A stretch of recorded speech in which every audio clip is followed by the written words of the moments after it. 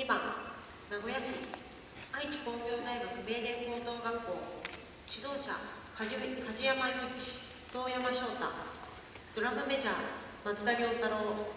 演技タイトル祝典のための音楽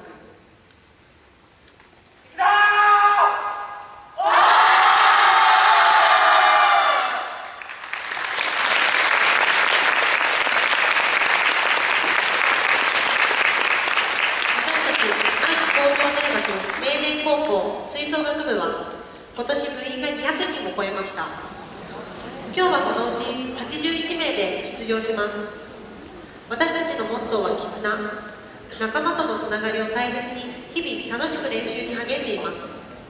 今年はイギリスの作曲家フィリップ・スパークの祝典のための音楽を演奏します。